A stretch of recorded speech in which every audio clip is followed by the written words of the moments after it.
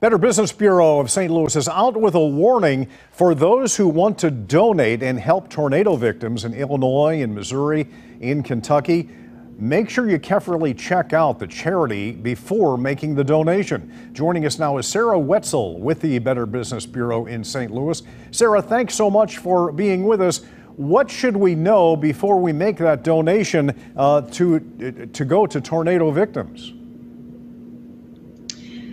Yes, Dan, it's devastating whenever you see all those terrible pictures on the news, online about what people are going through, especially this close to the holidays. Your heart goes out to them, you want to help them. But unfortunately, scammers are seeing this as well, and they see this as an opportunity to take advantage of those that want to help. So they may create fake websites. So it's really important if you're wanting to give is to do your research. Come to BBB at bbb.org, look at the charities. We have over 11,000 charity reviews that way you feel confident that you're giving to a trustworthy charity that is a real nonprofit charity. Yeah, Sarah, what about these crowdfunding sites that are set up? Uh, sometimes we, there's very little information about who sets these sites up you have to be very careful whenever you're donating to the crowdfunding sites because essentially they have very little vetting processes. And so essentially anybody can create them and you never know for sure where your money is actually going to. So if possible, if you know the family or the person that has suffered the loss and you're able to give to them directly, that is your best bet. That's that way you know exactly where your money is going. And, and should you find out if that charity does indeed have a presence in the affected area?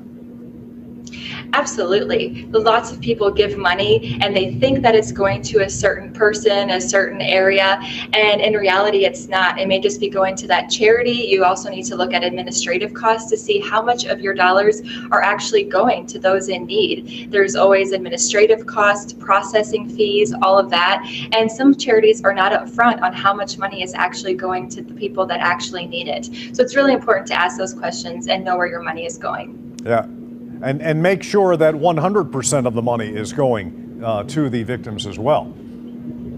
Absolutely. Many charities will say that, but with the cost, there's always going to be some cost, administrative cost to run the charity. So while it may not be 100%, it's just important to know for sure how much is actually going. And then do they need gifts of food or clothing? Always ask that too before you just go ahead and give that because the charity may not have the employees to handle all of those donations. So really ask the charity what they need, where your money is going, and how much of your money is actually going to those in need.